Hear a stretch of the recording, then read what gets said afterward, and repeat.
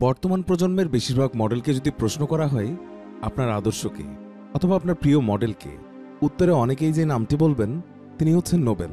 অথচ নোবেল কখনোই ভাবেননি যে এতটা জনপ্রিয় হবেন। কিংবা টেলিভিশনের পর্দায় তাকে দেখা যাবে, সেটাও কল্পনা করেননি। বাস্তব জীবনে মানুষের লক্ষ্য থাকে কিছু হওয়ার। সেখানেও নোবেল মডেল শব্দটি ব্যবহার করেননি। তবুও তিনি আজ বাংলাদেশের সবচেয়ে জনপ্রিয় মডেল। এই প্রজন্মের মডেলদের আইকন।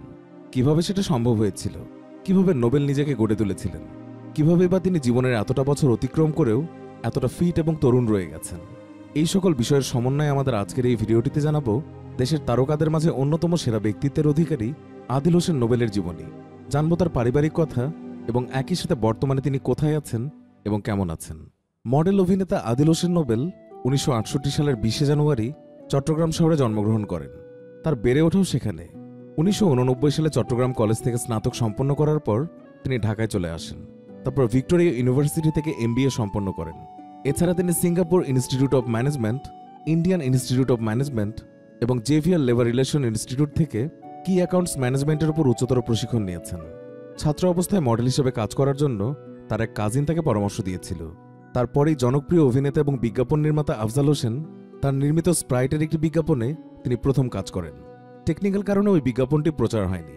এরপর তিনি উনিশশো একানব্বই সালে ফ্যাশন শোর মাধ্যমে তার কর্মজীবন শুরু করেন। তার করা টেলিভিশন বিজ্ঞাপনগুলোর মধ্যে রয়েছে এইচ আর সি চা, আজাদ বল পয়েন্ট কলম আরসি কোলা, পাকিজা শাড়ি, কেয়া সাবান, কেয়া লিপজেল এবং এশিয়ান পেইন্ট। নোবেল এবং আরেক অভিনেত্রী মৌ একসময় টেলিভিশন মডেলিংয়ে জনপ্রিয় জুটি ছিলেন। বিজ্ঞাপন চিত্রে মডেলিংয়ের পাশাপাশি বেশ কিছু নাটকেও অভিনয় করেছেন নোবেল। নোবেল অভিনীত প্রথম নাটক প্রাচীর পেরিয়ে। উনিশশো পঁচানব্বই সালে প্রচারিত এই নাটকটি প্যাকেজ নাটকের আওতায় দেশের প্রথম টিভি নাটক। তারপর উল্লেখযোগ্য নাটকের মধ্যে আছে কুসুম কাটা, ছোট ছোট ঢেউ, তাহারা, প্রিমা তোমাকে, শেষের কবিতার পরের কবিতা, বৃষ্টি পড়ে, নিঃসঙ্গ রাধাচূড়া, তুমি আমাকে বলনি, হাউস হাজব্যান্ড এবং সবুজ আলপথে একদিন অন্যতম। তবে নাটকের চেয়ে মডেলিংটাকে বেশি প্রাধান্য দিয়েছেন নোবেল।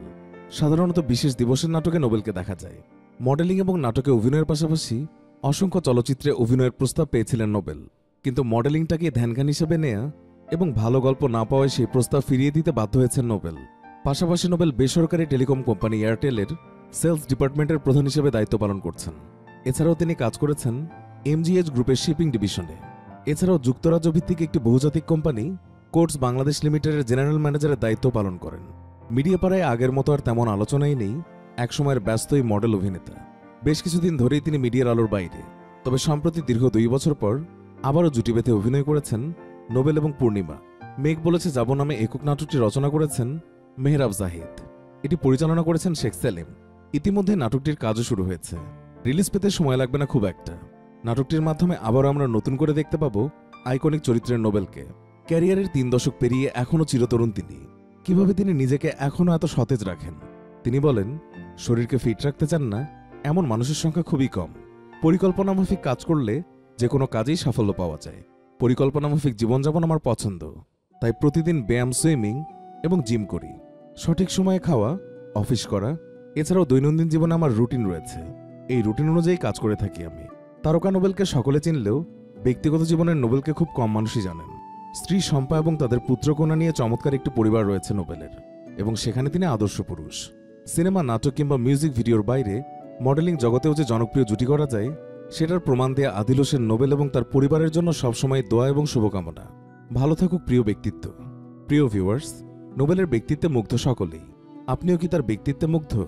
কমেন্ট করে জানিয়ে দিন আপনার মনের কথা। ভিডিওটি ভালো লেগে থাকলে অবশ্যই একটি লাইক দিন এবং অসংখ্য শেয়ার করুন। আমরা এমন জনপ্রিয় তারকাদের জীবনের কথা এবং নানা রকম অজানা তথ্য জানতে আমাদের চ্যানেলটি সাবস্ক্রাইব করে আমাদের সাথেই থাকুন।